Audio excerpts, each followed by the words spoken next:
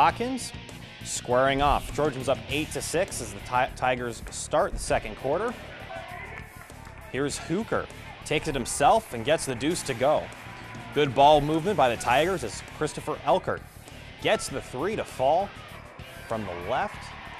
And that one is in. Answering right back is Jaden Pretty, knocking down the free throw, or the free line jumper rather. Now here's Elkert doing his thing as he hits the circus shot right before the halftime buzzer. Right here before that buzzer. And that's a good one.